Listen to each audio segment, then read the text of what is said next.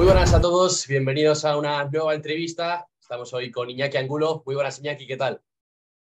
Muy buenas, pues eh, nada, encantado de estar contigo, Jaime, eh, que de la comida esta famosa con Alfredo Relaño y otros periodistas, pues bueno, apareciste, nos conocías a todos, eh, a mí y a otros dijiste que nos habías escrito y no te habíamos contestado y bueno, pues ya te dije yo que, había sido una cuestión de, que no miro a veces los mensajes, pero encantado de estar contigo, la verdad.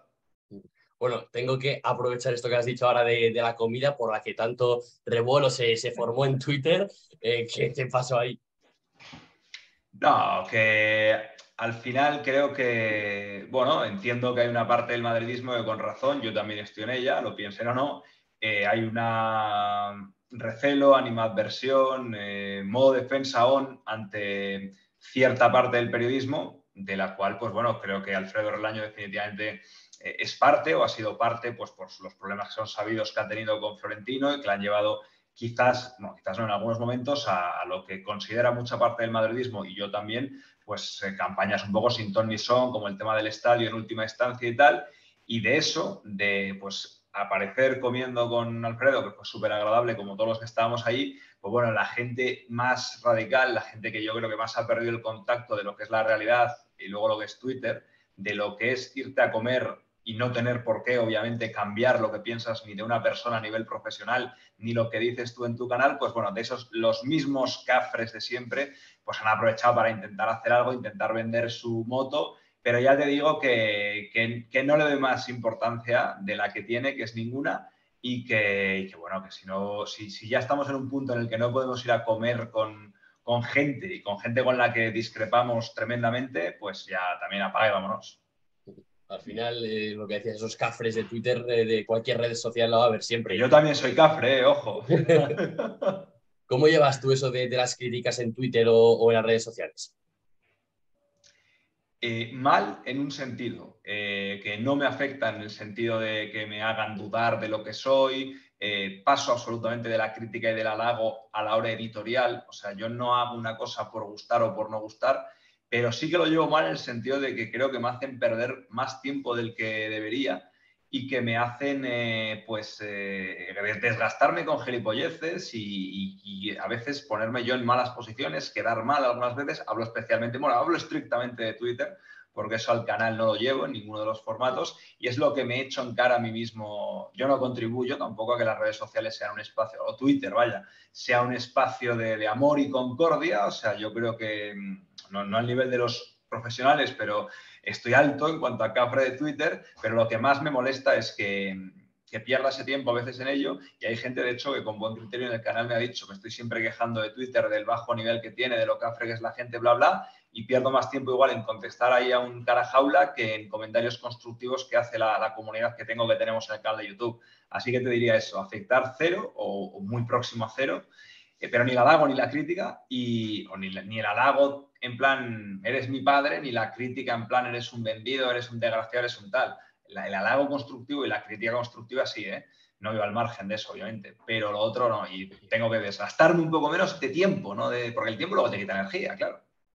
Al final, detrás de esos pocos haters que hay, hay muchísima gente que, te anima, que te apoya y que está contigo. Eh, estamos hablando de que ya es más de medio millón de suscriptores en YouTube, más de 70.000 en Twitter y más de 30.000 en Instagram, creo que es. Mm, ¿Cómo se llega a tener ese éxito en redes sociales? Eh, todo nace de YouTube. O sea, YouTube es la plataforma que luego, pues en este caso, me ha enviado tráfico a otras plataformas eh, como es Twitter, donde, bueno, pues para comentar un poco la jugada, como hacemos todos en Twitter, o Instagram, que son un poquito más, pues bueno, post, es un álbum de fotos personal, sí, casi. tampoco es que le dé un uso. Sí, tampoco es que le dé un uso muy, muy, muy profesional pero yo creo que es del crecimiento orgánico de Twitter, de YouTube, perdón, y de ahí, bueno, pues que la gente ya le interesa ver tus opiniones en otro sitio o gente que tampoco te conoce especialmente a nivel de Twitter, por ejemplo, gente igual tampoco te conoce de, de YouTube, pero sabe que haces algo en YouTube, pero no te ve, pero bueno, como ve que hay cierta notoriedad, pues te empiezas a seguir. Y luego, por ejemplo, bueno, pues a nivel de esa red social, cuando el tema de Vinicius, por ejemplo, sí hubo mucha gente nueva que igual se acercó y eso, que luego a veces se llevan una decepción, pues porque eh, no soy todo lo madridista que esperaban, o no soy todo lo rojo que esperaban, o no soy todo lo X que ellos se habían preconcebido que yo por, ese, por, ese, por esa noticia tal era. Y bueno, luego ahí vienen las decepciones de que te empecé a seguir por lo de Pedrerol, pero, pero eres un facha, por ejemplo, por ponerlo de alguna manera, eso me lo han puesto. Digo, yo no tengo la culpa de lo que tú pensaras que era cuando has empezado a seguir en mi año 35 de vida y, quinto ya casi de YouTube. No vamos a hablar mucho de esto porque creo que ya se habla ah, suficiente, pero vamos, al hilo de esto, eh, ¿en qué ha quedado ahora? Ahora que echas la, vista atrás, ¿qué pasó al final con todo eso de Pererol y, Vinicius? Pues eh, una gran noticia que creo que hizo el, ruido que tenía que hacer, aunque desgraciadamente eh, se desvió demasiado a lo que era un careo periodístico entre este hombre y yo, hecho por él. Yo simplemente me quería quedar en dar la noticia y eso es bueno, la parte que a veces incluso se habló más a nivel periodístico de ese careo que, de lo que estaba denunciando en realidad. Eh, eso es la parte que, bueno, me sobrepasó un poco en el sentido de que, joder, es que había perfiles míos en el confidencial, eh, en Yahoo, creo, quién es Iñaki Angulo, y yo decía, pero, pero, ¿qué es esto? O sea, eso sí que me costó dormir dos días, pero sobre todo por el, no por el no por el hecho de la noticia en sí, que estaba perfectamente atada, seguro de mis fuentes, de mis pruebas, etcétera, sino de que, de que de repente nuestro micromundo, que tampoco te pienses, Jaime, que luego esto, fui a por el pan y la gente no me hablaba de esto, pero en nuestro micromundo sí que fui yo la noticia, o se me transformó a mí en la noticia, digamos, con el otro, y quedar, pues bueno, la, amenaza quedó en amenaza y en, perro ladrador poco mordedor, ya cinco meses después al final, más, quizás más que la noticia, se acabó quedando eso, en el enfrentamiento de, de mm. Iñaki Angulo con Pedrerol, de la querella criminal esa y todo, ¿no? Correcto, correcto. Sí, ese fue un poco el, circo. Ese fue el circo, sin duda, sin duda. Eso lo denunciaste, hiciste ese vídeo en tu canal de YouTube, como todos los vídeos que haces en tu canal de YouTube, que nos dijiste, que, nos has dicho ahora que, es tu principal eh, fuente periodística, ahí es donde, donde haces una parte de tu periodismo. ¿Cómo calificarías, cómo dirías que es ese periodismo? ¿Qué tipo de periodismo es el que haces tú en YouTube? De noticias no, obviamente, porque dar yo noticias como tal, pues bueno, ha sido esa y muy poquitas más, o, abundar o ampliar algunas noticias que ya están dadas. Pero bueno, creo que a nivel del análisis, a nivel de, eh, del entretenimiento, porque mucha gente al canal mío, a los directos y tal, sobre todo entiendo que viene por entretenerse un poco pues creo que ahí sí que es lo que, lo que centra un poco el canal. Luego el análisis que intento hacer en vídeos un poquito más tácticos dentro de un nivel usuario. O sea, yo no soy un panenquita ni un experto y tal, pero bueno, sí que con la dedicación, con herramientas que hay ahora, pues sí que puedo encontrar cosas que no que la gente no pueda encontrar, pero que la gente como no es su trabajo, pues no tiene dos horas al día para dedicarse a buscarlas y ahí sí que creo que doy algunos contenidos que solo ofrezco yo los resúmenes de los partidos, pues es, un ejercicio periodístico, es una crónica, y crónica se ha hecho toda la vida. Y bueno, pues yo te diría que, que eso, y luego muy buenos colaboradores eh, que son clave en mi canal, en los dos programas que hay, como Pepe, Ramón y Paco en Paquito en el delantera, y en De For Amigos con Mario, con, con Andrés y con Degrado. Y creo que bueno, que eh, ellos, aparte de haber creado junto a ellos dos formatos muy buenos, pues eh, también me parece que han ofrecido al canal pues, por ejemplo, en el caso de Mario, una persona que está muy dentro de, la información y que no viene a dar las noticias al canal, obviamente, porque no, no, no soy quien le paga, eh, o no soy quien le paga el, sueldo que le paga Marca, era de Atlético, obviamente, pero bueno, tener al protagonista abundando un poco más, eh, conmigo conduciendo un poco el tema de los debates, de mi visión global de la industria del fútbol, tal. Bueno, yo, yo te diría eso, al final cinco años dedicándote todos los días de tu vida a hacer esto, pues ya sabes un poco de qué va todo como decías ahora, cinco años que llevas haciendo un poco esto de, periodismo, ¿por qué decidiste ser periodista o qué te llevó a tomar esa decisión? Bueno, siempre digo ya en coña que fue el capítulo del Bart's People, de la gente de Bart, cuando hacen el noticiario infantil, pero bueno, no, es eso con lo que me hace ser periodista, aunque ya lo he dicho tantas veces que yo creo que la gente se lo ha creído. Yo creo que es eh, que me siempre me ha gustado mucho lo que es el tema de, comunicar, de hablar, mm, de organizar un poco también. Luego el tema de que lo que más me gustaba de pequeño era el fútbol. Eh, no sabía que no iba a valer para jugar al fútbol desde una parte, desde un punto muy temprano. Y a mí me gustaba mucho ya. De, yo, yo me daba cuenta desde pequeño pues que, que cuando veía un partido de, de, fútbol o de la NFL o tal y veía a los periodistas en los estadios, pues decía, a mí me gustaría hacer eso y creo que puedo hacer eso. Yo, por ejemplo, poquito más pequeño de lo que tú eres ahora, que claro, no existía Internet tal como lo conocemos, creo que mejor para mí, sinceramente te lo digo, eh, pues yo me acuerdo que durante una off-season, el periodo entre temporadas de una NFL, pues eh, yo iba apuntando los traspasos que había, iba escribiendo yo como, como crónicas de la esta, ¿sabes? Y son cosas que lo piensas con el tiempo y bueno, siempre me ha, siempre me ha, he tenido, creo que siempre he tenido ese fuego por esto y creo que sinceramente tampoco había un plan B muy claro. Así que, pues al final ya tire para adelante. Ahora, con las cifras en redes sociales que tienes ahora, eh, habiendo cubierto partidos del Real Madrid, eh, habiendo conseguido grandes experiencias y, grandes sueños, imagino que, tendrías, eh, ¿qué le dirías a ese niño que apuntaba a los traspasos de la NFL?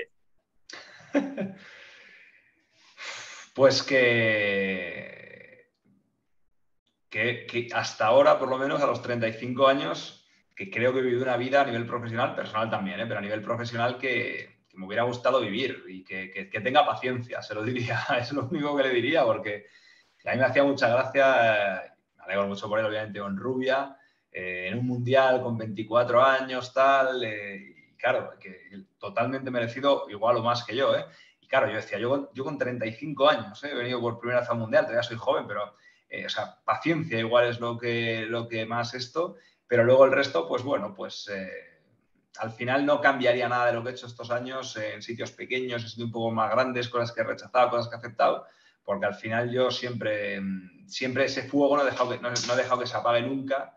Eh, he estado cerca igual alguna vez, y luego ha habido golpes de suerte, como por ejemplo en 2015 pues yo estaba un poco más perdido en la vida a nivel profesional, aunque ya estaba trabajando, no veía esta manera, no sabía que en YouTube se podían hacer este tipo de cosas y tal. Lo que escribía era bueno, pero prácticamente pues no se leía mucho o no se leía lo suficiente como para que alguien se fijara o tal.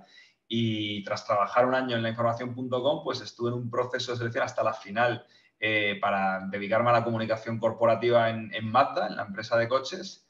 Eh, en aquel momento pues no me cogieron y lo vi como un... Para empezar lo veía como un salario absolutamente fuera de lo que se paga en el periodismo eh, y, como algo de que se acababa el mundo, que no hubieran cogido ahí, que iba a hacer con mi carrera y tal. Y en ese momento lo que fue un chasco muy grande para mí y lo que quizás seguramente hubiera apagado ya ese fuego interior, entrar en el mundo corporativo, que entiendo que obviamente eh, con la de zotes que hay en el mundo corporativo, entiendo que hubiera ido bien, pues igual eso, mira, lo que en aquel momento casi me lleva a un, no, no te voy a decir una depresión, pero sí a un disgusto grande y estar unas semanas diciendo, ¿por qué no? ¿Por qué no? Si era mejor que los gilipollas que habían estado ahí, con perdón, en el, proceso final, que estábamos los seis candidatos finales. Me costó procesarlo, pero al final es que hubiera, quizás hubiera tomado un camino muy diferente y, no era lo que me hubiera hecho feliz, estoy convencido absolutamente. Aunque hubiera hecho un buen trabajo, creo, y, hubiera sido profesional y tal, nada, eh, para mí, eh, para, para, y entiendo que tú igual, porque estás desde una edad muy joven haciendo algo así, o sea, nada de lo que yo pudiera hacer se compara a lo que estoy haciendo, sinceramente. O sea,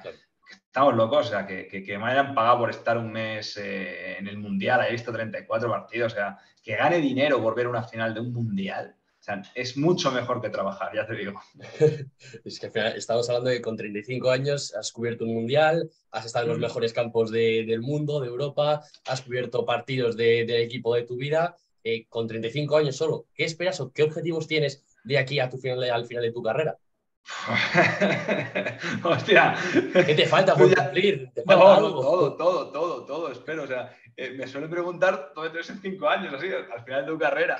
No, a ver, o sea, yo, yo lo que sé es que por ahora, eh, mira, por ejemplo, él creo que ya lo ha verbalizado, eh, Manquer, que es un gran amigo mío y youtuber, él, él, a veces, no sé si públicamente lo ha dicho, espero que sí, porque si no estoy igual aquí desvelando más de lo tal, pero bueno, él, él, te dice, yo en X años me quiero retirar, quiero vivir una vida tranquila, tal, no sé, que luego a ver si lo hace, ¿eh? porque, esto también...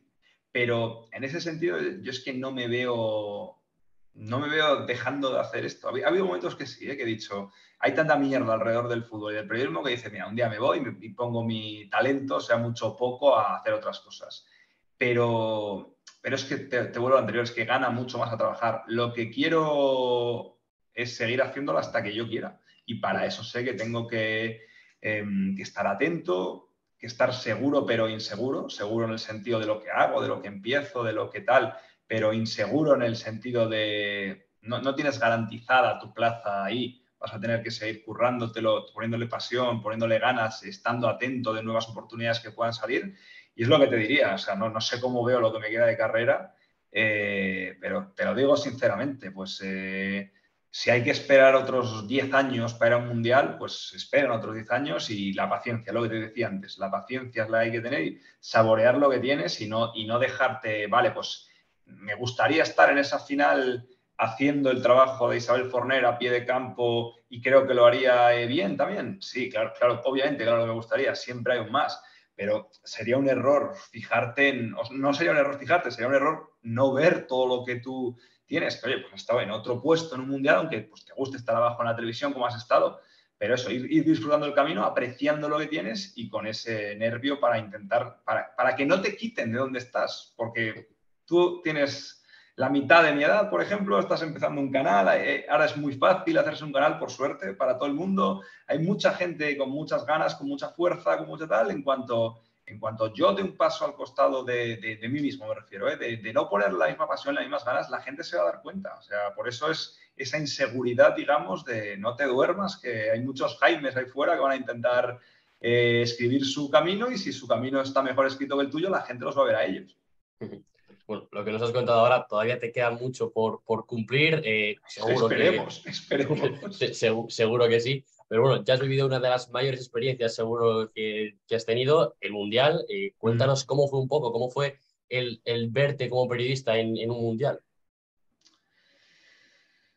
Yo, creo que hay un punto de, que tienes que estar, no tienes que estar, ¿no? Pero que es una de las cosas que quizás eh, todos como periodistas o gente que nos gusta el fútbol, de una manera u otra, cuando miro Valles para ver si sigue grabando, o sea, en, mi OBS la prueba que estoy aprovechando va a hacer, eh, yo creo que lo, que me di cuenta con el Mundial es que es eh, donde está todo el fútbol. Eh, todos los futbolistas tienen ese sueño de ir al Mundial, todos los futbolistas hacen sacrificios físicos a veces por ir al Mundial, y vi que los periodistas también, porque eh, o sea, eh, los que van con una televisión con derechos, eh, a mesa puesta, como quien dice, son la minoría. Incluso los que van con grandes medios, con un periódico, pues puede ser Marca, El País o tal, son la minoría dentro mundial. Siempre pongo en el mismo ejemplo, que pues Movistar, bueno, Gol en este caso, Marca, El Mundo, el AS, que luego tienen sus miserias, obviamente, las sé porque tengo compañeros, pero esos son, bueno, pues los que están ahí eh, como pues, Argentina, España, Francia, tal, están arriba. Pero es que en el Mundial, todos los mundiales también hay pues Costa Ricas, hay Japones, tal, tal, y eso es lo que vi en el mundo del periodismo, que había mucha gente pues que, tenía que hacer eh, grandes sacrificios eh, económicos porque no tenía un respaldo de un gran grupo detrás o de una compañía que te pague la fiesta, que se tenía que buscar una casa igual a 60 kilómetros, en este caso de Doha, porque el presupuesto que le había conseguido para montárselo era X y si no se le iba mucho. O sea, eso es lo que he comprobado en un mundial, pero que todo el mundo quiere estar ahí en un mundial. La experiencia, pues es de estas cosas que eh, te das cuenta en el momento, o yo al menos, creo que esa virtud la he tenido siempre, como cuando he ido a las finales de Champions, sea como aficionado, sea como periodista, siempre he tenido la, que me imagino que le pasa a todo el mundo, ¿eh? la percepción en el momento de que soy un privilegiado y de que estoy viendo algo que, mucha gente le gustaría ver, como aficionado, como periodista, como lo que sea. Así que el Mundial desde el principio fue así y, sobre todo ya llegando a las rondas finales, con esa final y todo eso, pues bueno, al final sobre todo acompañó ¿no? el espectáculo de la final, que eso no depende tanto de ti, pero bueno, vi, vi que el Mundial, eso que junta futbolistas que ganan 10 millones de euros con futbolistas que, bueno, pues casi son profesionales por poco, y, en cuanto a los periodistas, eh, también, que no solo es pues, las grandes televisiones con derechos, los grandes medios, sino también gente que se busca la vida y tira para allí y ya verá cómo paga las facturas, casi. Al final, aparte de estar viendo los partidos del Mundial, es un mes, prácticamente fue un mes, ¿no? Viviendo allí en, Doha, en una ciudad diferente. ¿Tienes alguna experiencia, alguna anécdota así de, de la ciudad fuera de lo futbolístico? Eh, es que también me callo mucho por esto en, Twitter. Eh, yo he visto una ciudad con un funcionamiento espectacular, con una seguridad de 10 y, muy bien montado todo, sinceramente. O sea, en ese sentido, o sea, no ha habido así alguna anécdota cuando, cuando extraes el alcohol de la ecuación. surgen menos anécdotas, eso, eso es una, realidad como un templo. No quiero hacerte eh, enaltecimiento del alcohol, que eres muy joven, pero bueno, o sea, pasan más cosas. Eh, por la noche pasan más cosas y la vida nocturna no era tanto, que algún día, pues bueno, sí que desbarramos un poquito. Eh, pero no sé, cosas que te llaman la atención son muy cuadriculados, por ejemplo. O sea, amables pero cuadriculados. Había una seguridad en los estadios que si salías del metro aunque fueras prisa, ¿eh? aunque fueras con la credencial de prensa, tal, y tenías que dar una vuelta así a todo eso para llegar al punto que podías pasar por una vallita siendo de prensa, no, aunque no hubiera nadie, hablo si está todo petado, aunque no hubiera nadie, porque llegaba tarde a un estadio viniendo de otro, me hicieron hacer toda entera la vuelta esa, pero que era una vuelta igual de, de, 300 metros para adelante. O sea, a esas cosas sí que, sí que da, pero luego el resto... Mm, es una ciudad eh, a nivel de funcionamiento de ciudad, tal, de, lo que te puedes encontrar, de servicios, etcétera, eh, muy europea, muy americana en ese sentido. Y luego, bueno, pues el tema de, que son una cultura muy diferente, creo que se, convivió perfectamente. O sea, no habría nada así de locos que te dijera, hostia, pues esto me ha llamado un huevo la atención de, de tal. O sea, al final, no, no, no habría. Me han dicho unos cuantos periodistas, el otro día en la famosa comida esa me lo dijeron también unos cuantos, que en la noche también hay acuerdos periodísticos o anécdotas entre periodistas y demás. Eh, ¿Tú recuerdas alguna anécdota con algún periodista así eh, por la noche que se pueda contar, claro? Hasta donde se puede contar. Mira, Paco Rabadán y yo nos enganchamos una melopea eh, un día, jornada de descanso, no trabajamos mm, al día siguiente eh, bueno, si yo tuve que hacer vídeos para el canal, pero se hizo de aquella manera. Eh, a BIN y a Metro de Puerto Rico le dije que no contaran conmigo al día siguiente y nos enganchamos una merla eh, tremenda que no nos querían, los taxis no nos cogían. Y fíjate que allí cogían, pero porque nos veían tan mal que no nos cogían y tal. Y luego al, subnormal de Rabadán no se le ocurrió mejor historia que mandarle a Paulita, a mi novia, una foto mía destrozado, porque estaba, estaba destrozado, estaba en el suelo con la cabeza así me despierto en casa de Rabadán porque nos cogió un taxi, pues tiramos para su casa, me levanto al día siguiente y me dice, y veo, amor, ¿qué te pasa? ¿Estás bien? Tal, no sé qué. Y yo ya digo, joder, esta tía tiene, tiene, tiene, tiene espías aquí. Y luego abro, tiro para arriba y veo que el subnormal este le había mandado una foto que ni se acordaba él ni me acordaba yo. Y esa noche, bueno, vino, desde mi móvil. Vino uno también de, no sé si era de Onda Cero, de dónde era este, que también iba con otra merla monumental. Y, nada, ahí estuvimos. Bueno, había algún miembro ahí de la comida aquella que estuvo en Doha, pues que, bueno, que es el único más que estuvo en Doha de los que estábamos ahí, que bueno, que también estuvo por ahí en una fiesta. Mira, yo intenté evitar porque me conozco me conozco, y, un papelón así de engancharte la gorda, quería que fuera en, doméstico. Yo no quería que en fiestas de toda la prensa española o de toda la prensa internacional, pues imagínate que tantos días sin beber, tal, tal, te sienta mal, estás así y eres ya la comidilla de toda la prensa nacional. Ahora lo estoy contando, pero porque no lo han visto, ¿sabes? O sea, yo evitaba ese tipo de fiestas porque me conocía.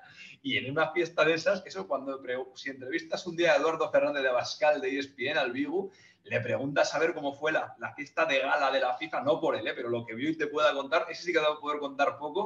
Y yo le dije, mira, yo ese día estuve tranquilamente con Senen y un chaval que trabaja para Gigantes, que nunca me quedo con su nombre, y otra vez en Petit Comité, y ese día Iñaki Angulo no, bueno, a veces sí tropieza hasta 17 veces en la misma piedra, pero ese día fuimos a, los mismos garitos y ese día eh, el mensaje a Pauleta se lo mandé yo, en plan, ya he llegado a casa y me estoy hasta cepillando los dientes y echándolo de que no se me caiga el pelo. O sea, ahí aprendí y ya regresé tranquilamente a, mi casa por mi propio pie, sin depender de Francisco Rabadán. Pues vamos a tener que hacer esa entrevista para, para, indagar aquí a ver qué, a ver qué pasó. No hemos hablado del Real Madrid, del club de mm. tu vida, que, que defiendes en, en tu canal de YouTube, en Twitter en tus redes sociales. ¿Qué es para ti el, Real Madrid? Un sentimiento gigante, obviamente, algo que siempre ha estado presente en mi vida y algo muy, muy especial, ¿no? Ser parte, bueno, una pequeña parte, obviamente, ¿no? Como aficionados que somos, de, pero una parte imprescindible de la historia del club más grande. o sea, yo ponía en las remontadas estas de, de, este año en la Champions y tal, aparte que estaba en un buen momento vital, profesional, etcétera, que recordaré, estoy convencido, esos años, esos meses de, esa primavera de 2021 como los mejores días de mi vida y, estoy convencido de que, obviamente el Madrid es el hilo conductor de muchas de esas cosas. Algo que, bueno, creo que mm, lo más grande que yo creo que puedo decir del Real Madrid es que me siento orgullosamente representado por, por mi club, por los que juegan, por los que lo dirigen también, por los que lo entrenan, aunque coincida más o menos con cosas de Ancelotti a nivel futbolístico, creo que está en muy buenas manos el Real Madrid y bueno, pues es un sentimiento gigantesco, mundial, y otra vez te vuelvo a lo del privilegio. Un privilegio que hoy, pues mira, me ha invitado mi amigo Alex a ir a ver el partido contra el Valencia, que estamos grabando hoy el jueves antes del partido contra el Valencia, y otra de estas cosas, pues que, no hay que darlas tampoco por, por, garantizadas y por hechas en la vida, que tenemos mucha suerte, que el Madrid es de todos los madridistas que estamos en el mundo pero joder, vivir a 15 minutos del Bernabéu, acercarte andando, ver el partido, algo que la gente sueña, la gente ahorra, la gente organiza sus vacaciones para ver un partido el Real Madrid. Nosotros lo tenemos aquí caminando, ¿no? O, cogiendo un autobús o lo que sea, ya eso cada uno, o el metro. Creo que es, un gran orgullo y además un gran privilegio, suerte, el sentido de estar aquí cerca de, poder vivir la pasión, ver esos partidos, tal. Hoy me imagino que pasar un poco de frío, pero, pero de nuevo devuelvo a lo del agradecimiento también esta noche vas a pasar frío, vas a volver a, poder disfrutar de, esa pasión. En un momento en el que en Madrid hay un poco de dudas en Liga, el Barça que está apretando ahí, ¿cómo ves la Liga? ¿Quién crees que se la acabará llevando al final? Yo decía ayer en el directo que, que el Madrid tiene que ganar y ver qué pasa. O sea, me refiero, tiene que empezó, que no me acordaba yo que había empezado tan, tan bien. O sea, sabía que había sido de ese orden, pero no pensaba que tanto.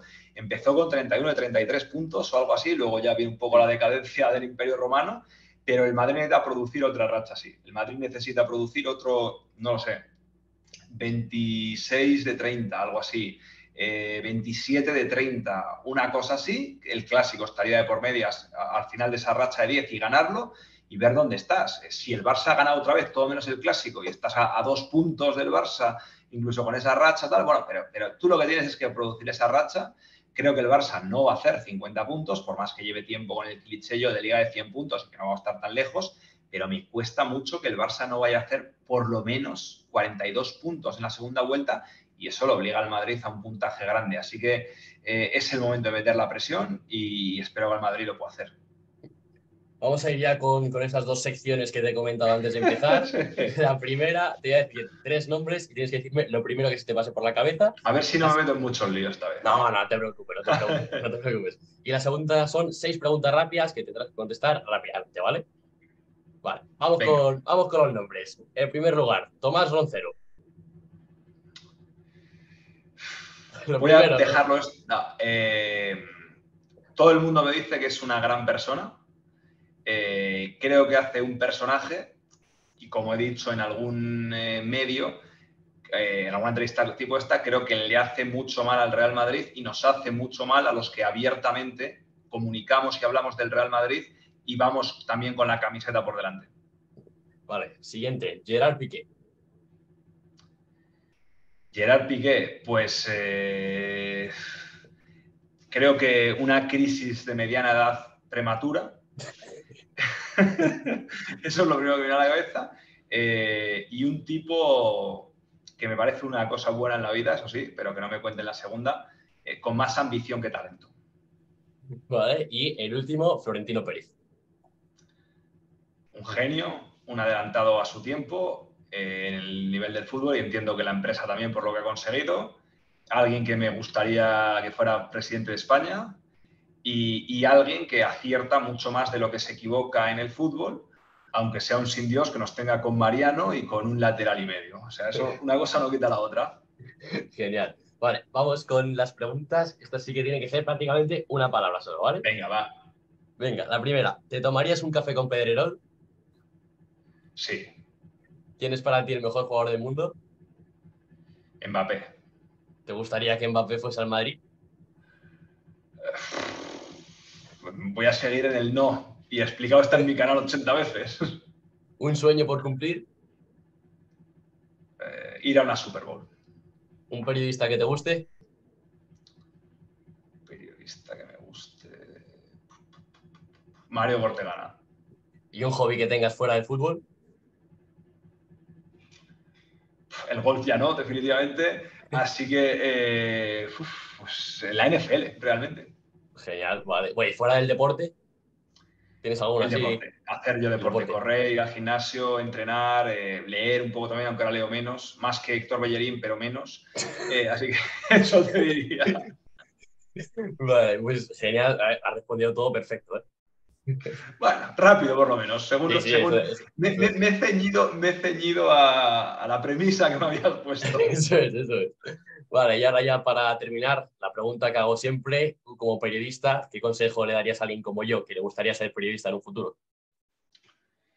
Pues eh, te voy a cambiar un poco la de más ambición que talento de Piqué y te voy a decir más ganas que talento. Ten más ganas que talento eh, ten más inquietud, haz más cosas tipo esta em, que, no sabes a no sé cuántas visitas va a tener esto, ni el siguiente, pero que bueno, que creo que son cosas que yo miro atrás y luego sobre todo cuando hablo con, entre comillas, casos de éxito que hay al lado mío, compañeros míos que están, bueno, pues saben todos quiénes son mis amigos dentro de la profesión, lo que tenemos en común generalmente eh, es que casi todos nos hemos empezado a mover medio pronto, sea de una manera más tradicional o sea de una manera más alternativa, que ahora hay muchas más opciones, creo que es la principal, la principal diferencia. O sea, yo tengo, no voy a dar nombres, obviamente, tengo muchos amigos de la universidad, muy buenos amigos, que, pues que están en trabajos que no les gustan y, y, yo estaba en la final del Mundial y lo pensé, no sé, ese día otro, la diferencia no es que yo sea el más talent, tan, tan, talentoso, o sea, no, no, se me da mal esto, no te voy a decir que cualquiera puede hacer lo que hago yo, pues, pues no lo sé, no lo sé, igual no, hay un componente, hay un componente obviamente de que creo que entre comillas valgo para esto, que esto no es mandar cohetes a Marte ni operar a corazón abierto, pero creo que la diferencia no es yo en una final del Mundial, yo viviendo de esto eh, exclusivamente como me da la gana haciendo mi contenido y algunos trabajos que tienen compañeros míos de, facultad y eso veo que es común a compañeros míos que se han formado en otras facultades.